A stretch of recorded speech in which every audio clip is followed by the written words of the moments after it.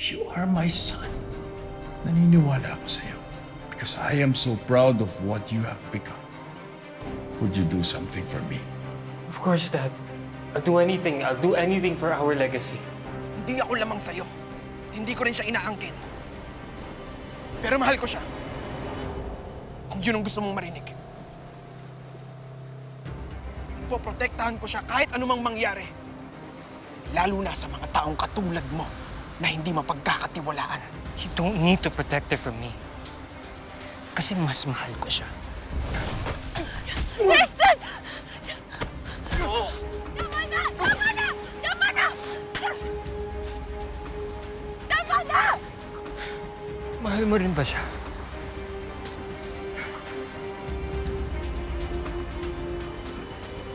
Si Alfonso de la Paz. Nagdamit lilom siya nung gabi ng fiesta. Parang yung ginawa ni Mang Larry kay Colleen. Siya yung nakita mo dito nung bata ka sa bahay na to mismo. Si Alfonso de la Paz. Kailangan nating ebidensya. Para mapatunayan na siya talaga yun. Lahat ng ebidensya, lahat, lahat ng sagot nandito sa likod ng pintong to. Ikaw ang nang rape sa babaeng sa plaza! Dinamay mo ako sa pinaggagawa mo? Hayop ka! Rapist ka! Di lang talaga makapaniwala na si Ninong may gawa nitong lahat. Lalo na, patunayan natin na may kinalaman nga talaga si Tristan dito. Huwag kang mag-alala.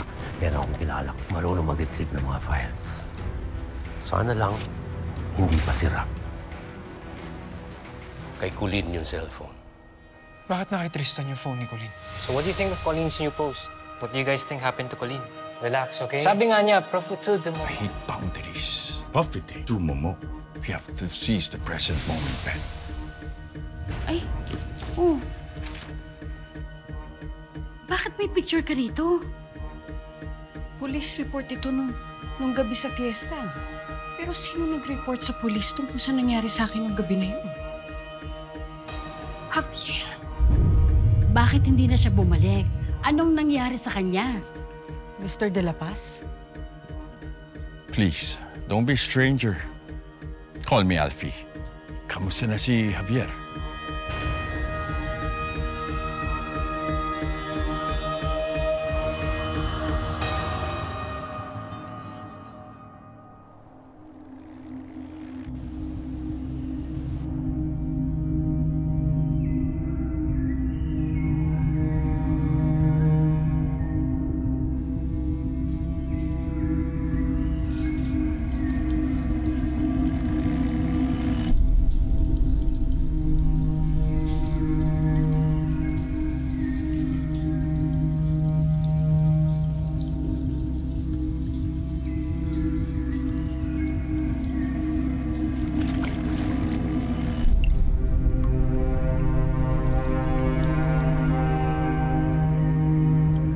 Me first, would you give me a chance? Magkaibigan pa rin naman tayo, Tristan. I am so proud of what you have become. Look what you did to poor Mang Larry. Pwede ba? Ayaw kang kausapin ng tao eh. Huwag mong pilitin yung sarili mo. But I wasn't the one who told you to kidnap Pauline. Tama na! You're just like me, more than you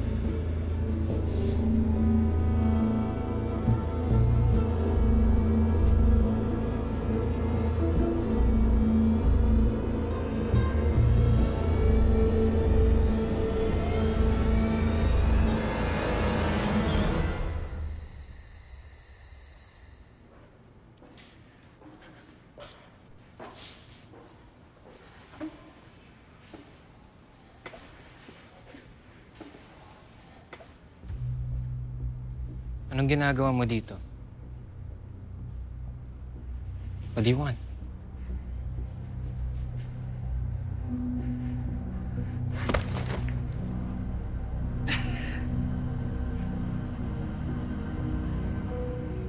Ben, wala ako sa mood. Paano mo nagawa to, Tristan? Have no idea what you're talking about. Go home?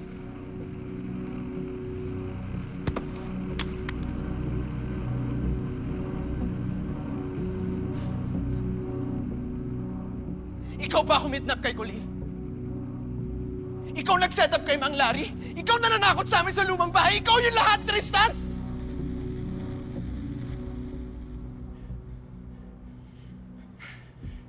At your age, Ben. On. Huwag kang parang bata na bigla-bigla na lang nang bibintang. Ang bibintang? Ano to? Ebidensya to, Tristan. This is the evidence against you. At sinunog mo to para makawala ka sa lahat ng kasalanan mo. Ben, nagbato ka ng cellphone sa akin, di ba? Ngayon sasabihin mo, galing sa akin yan? Ben, what? You know exactly what I'm saying, Tristan. It now becomes your word against mine. But a little word of advice, Ben. Patunayan mo nga na galing sa akin yan. Last time I checked, you were holding that phone. That means your fingerprints are all over that phone, Ben.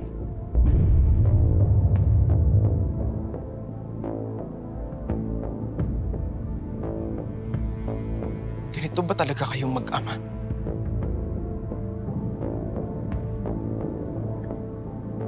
Anong sinasabi mo?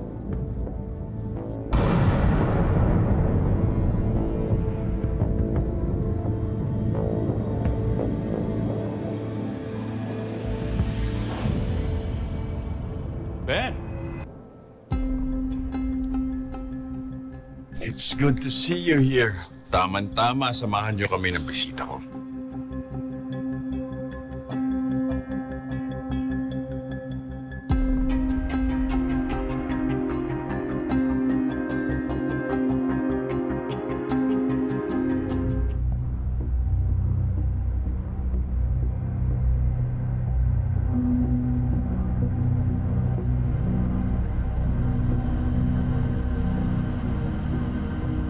Let's have dinner together. Um, Ben, paano kilala mo si Alfie? Inaanak ko si Ben. And that's Tristan, my only son.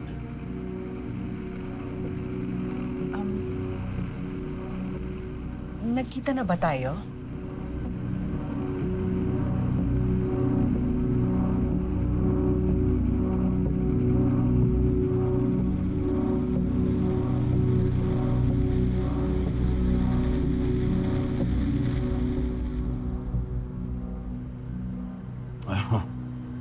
Small world, isn't it? Lorraine, paano ba kayo nagkakilala nitong si Ben? Um, kaibigan po siya ng anak ko si LJ. LJ. Yes, I met LJ. Nung unang dumating ang team ni Ben dito. But you know, hindi niya nabanggit na dati pala siyang tumira dito sa Santa Castella. Anyway, sana magkita kami ulit.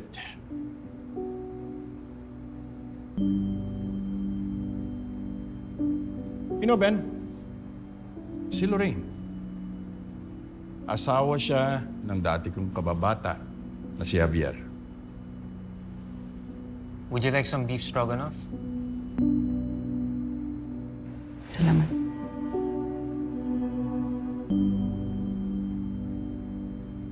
Ang sabi mo kanina, matagal mo nang hinahanap si Javier.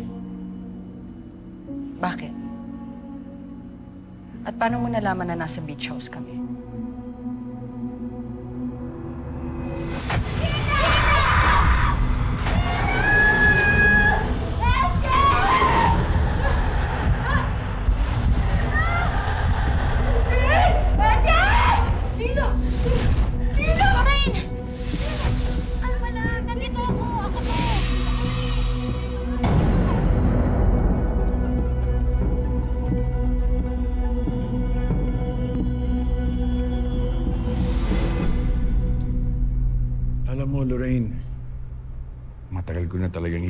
Si Javier.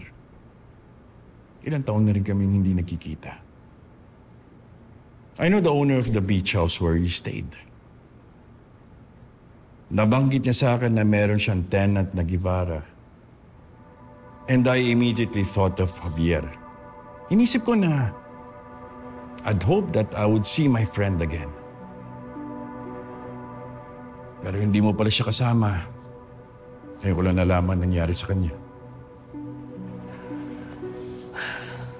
Ngayon ko lang din nalaman na pumunta pala siya dito sa Santa Castella. Pero hindi ko na siya nakita noon. Sa taon na nakakalipas. Sigurado ka ba na hindi kanya pinuntahan? Na hindi kayo nagkita? Baka naman may naaalala ka. I'm sorry, Lorraine. But no. Pero huwag kang mag-alala. Kukontakin ko lahat ng mga contacts ko. Hanggang kay Mayor. Para malaman kung may nakakita ba kay Javier. Alam mo ba kung anong pakay ni Javier dito sa Santa Castella bago siya nawala?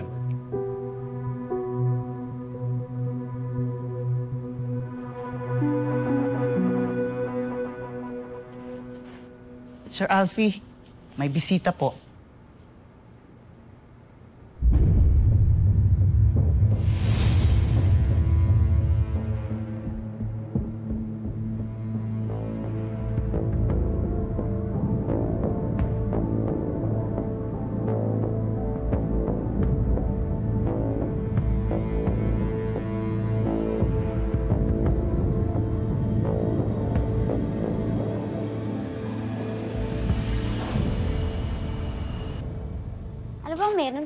Ba't pinapagawa to sa atin ni Derek? Huwag dahan-dahan. Sumunod ka na lang. Tama ng gulong-gulo na yung tao eh. Dadadag ka pa. Eh, alam mo namang hindi ako sanay sa ganito eh. Kaya nandito ako eh.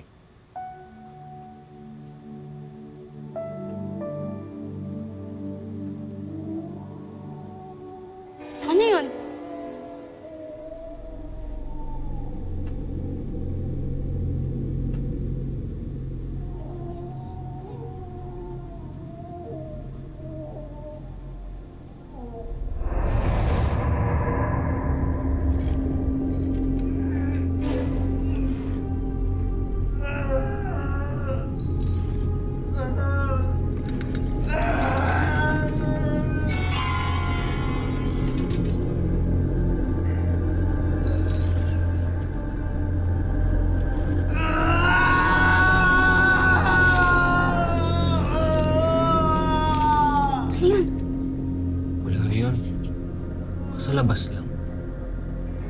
Eh, paano kung...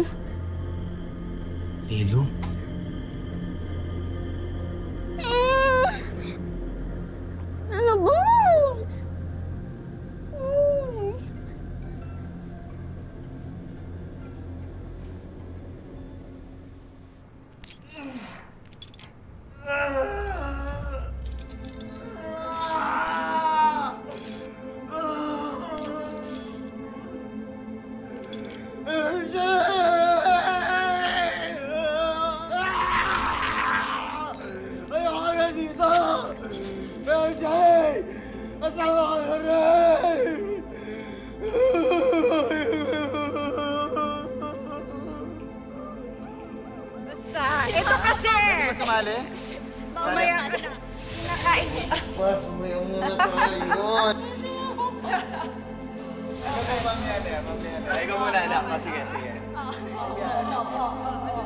Ikaw din pa, ikaw din. Ikaw. Tama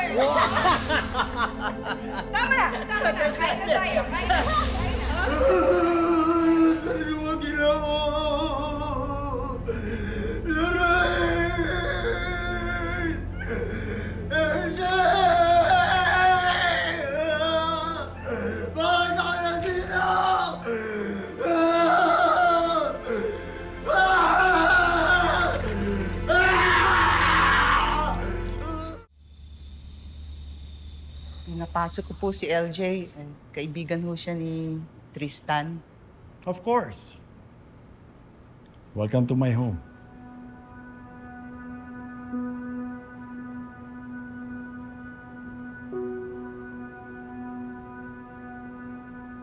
You know, LJ, we were just talking about you. Ikaw pala yung anak ng kaibigan ko si Javier. Lorraine told me everything. I'm sorry to hear that your father's missing. Pero nandito ako para tumulong. Kaibigan niyo po ang papa ko. Hindi lang kaibigan. Para kami magkapatid, LJ.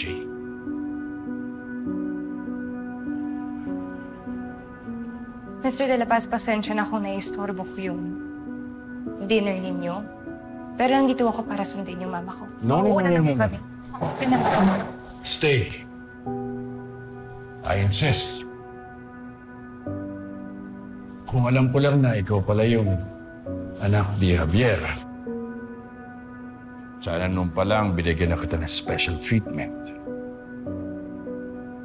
Have a seat.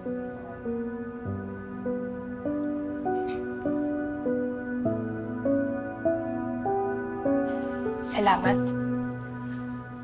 Ang totoo eh, gusto ko talaga kayong makilala.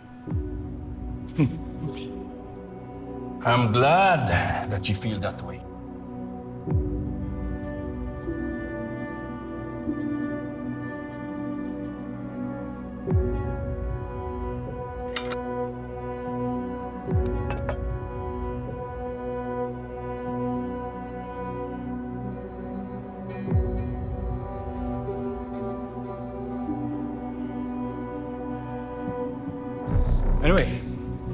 Start eating?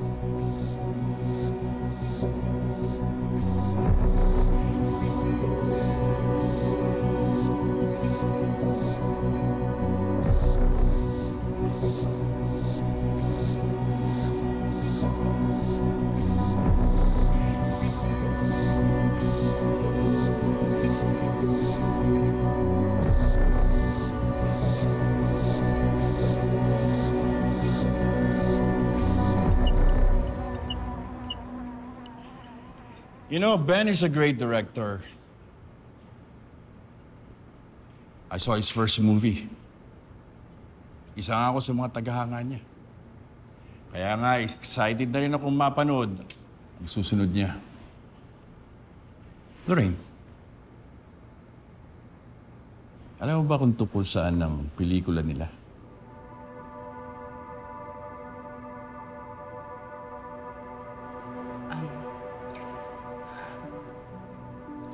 Tungkol sa lilong.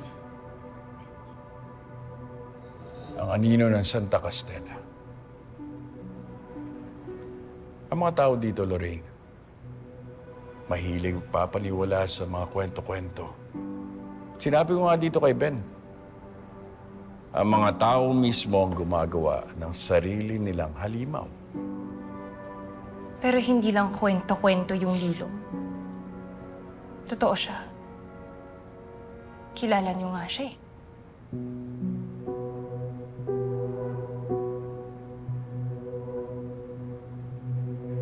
Si Mang Larry. Di ba? Larry. Poor Larry. Nalulungkot talaga ako sa nangyari sa kanya. Siya yung kumuha sa artisang si Colleen. Must have heard about it. Kaya rin ako napasugod dito. Dahil natatakot ako para sa anak ko. Ma, huwag kang matakot. Hindi ako natatakot sa kanya. Hindi niya matatakasan lahat ng ginawa niya. Tama naman, di ba, Mr. De La Paz?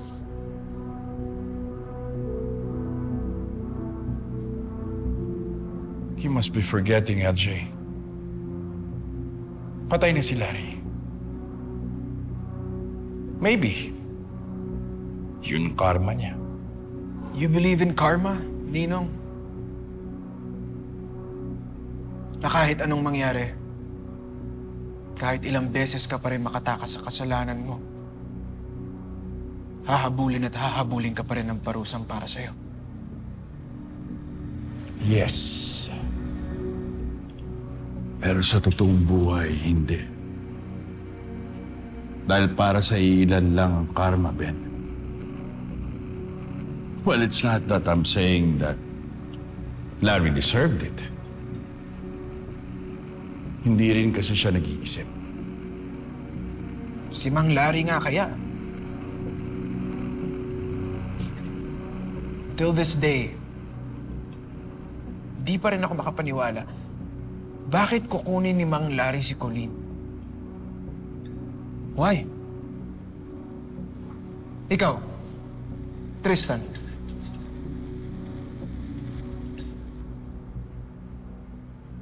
Colleen came back safe. Yan ang mahalaga. Hindi pa rin tama ang ginawa sa kanya.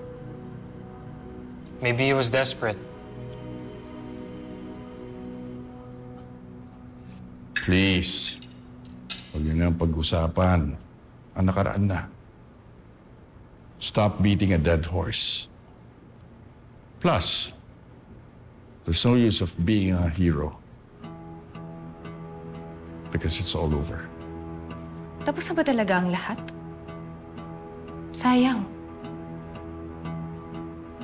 Marami pa kasi akong gustong malaman kay Mang Larry. Oh. Kung nabubuhay si Mang Larry, anong gusto mong sabihin sa kanya?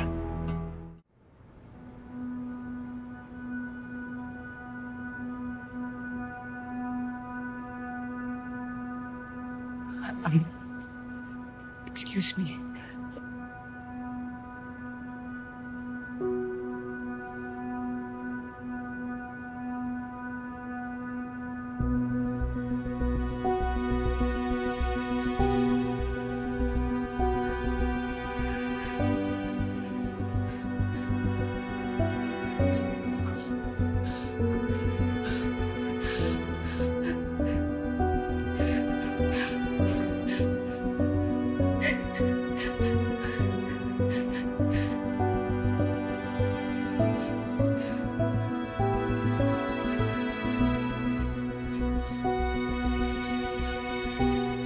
Nasaan kami? Alam ko hindi mo kami iniwan nang ganun ka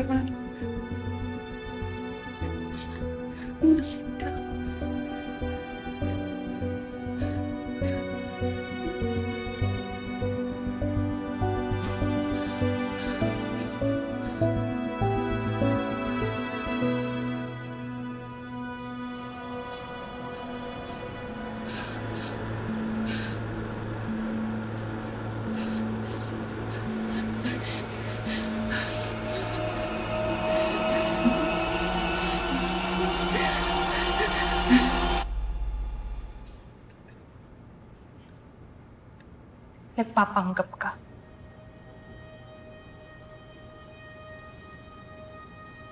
Excuse me? Nagpapanggap ka.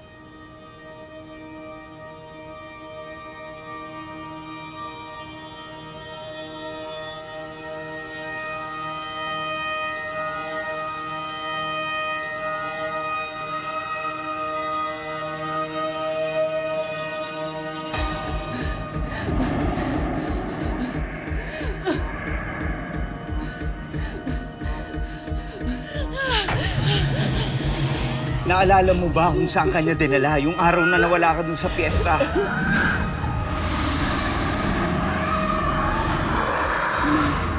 May, may bakbak yung Bye!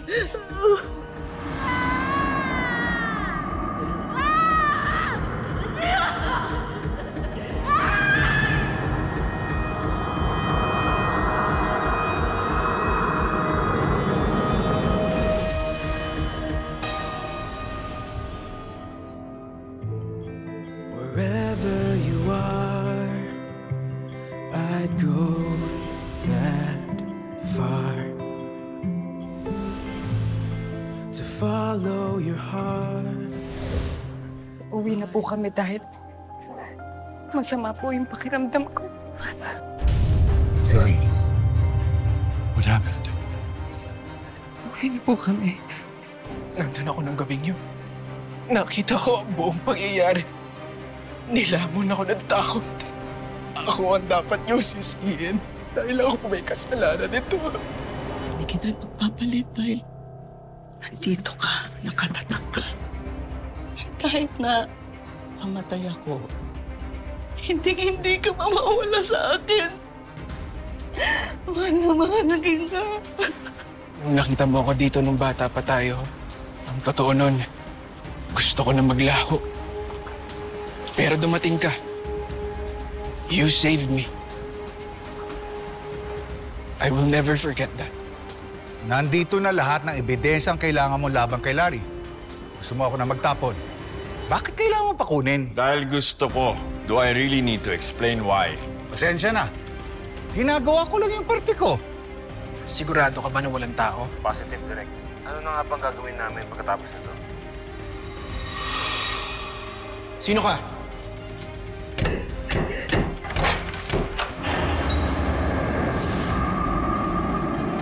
Why are you still here?